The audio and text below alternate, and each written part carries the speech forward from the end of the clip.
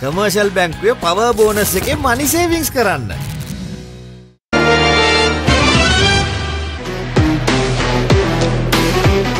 සමගි ජන සන්ධානයේ හැටහත් වන ජනරැලිය ඊයේ පස්වරුවේ කඩවතදී පැවැත්වුණා.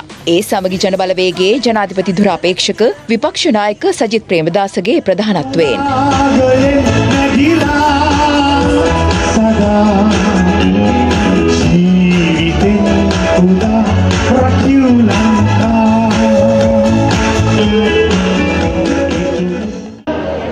රාජ්‍ය පාලනය තුළ ජනතාවගේ තුක නිවාලීමේ ගමන අපේ ගමන බවට පත් කරන්නට ඕන. කඩවත සිට මීරිගම දක්වා අධිවේගී මාර්ගයේ ඉදිරි කොටස ඉදිකිරීම ඒ වැඩසටහනට අපි ප්‍රමුඛ ස්ථානය ලබා දෙනවා.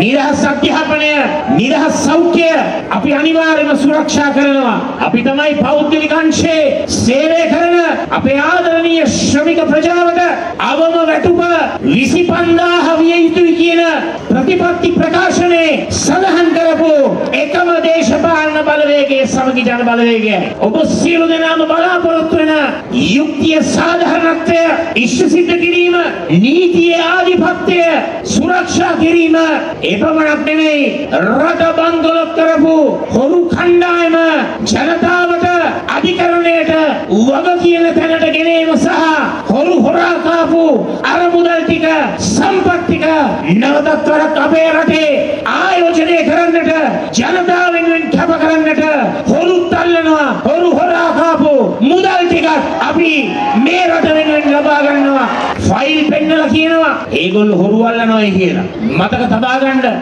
අපේ පක්ෂේ සමගි නීතිඥ සංගමය ආචාර්යවරුන් තුන්දෙනෙක් ශ්‍රේෂ්ඨාධිකරණයේ නඩුවක් දමලා මේ රට බංගලොත් කරපු රාජපක්ෂට විරුද්ධව මූලික අයිතිවාසිකම් පෙත්සමක් ඉදිරිපත් කරලා ශ්‍රේෂ්ඨාධිකරණයේ ගරු විනිසුරුවන්